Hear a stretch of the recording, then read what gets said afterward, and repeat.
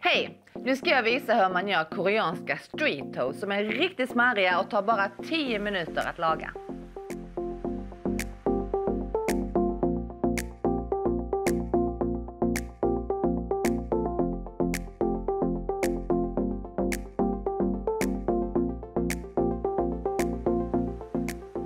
I Korea så säljs den här toasten på gatorna på morgnarna lite överallt och det är för att folk äter det här som frukost på kontoret sen när man kommer till jobbet. Men jag tycker den är supergod precis när som helst.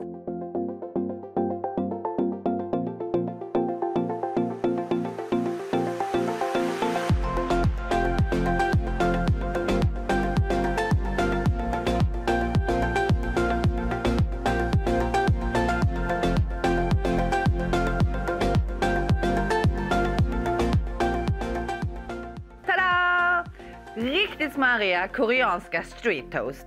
Smaklig spis, det ska jag ha.